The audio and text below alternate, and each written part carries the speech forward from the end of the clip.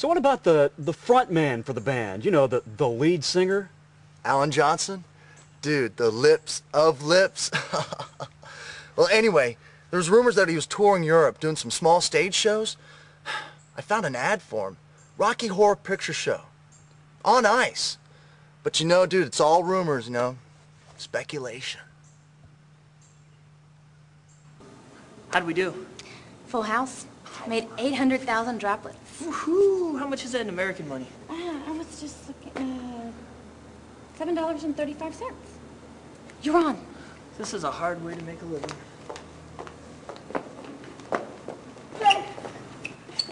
On the beach with peppermint, babe.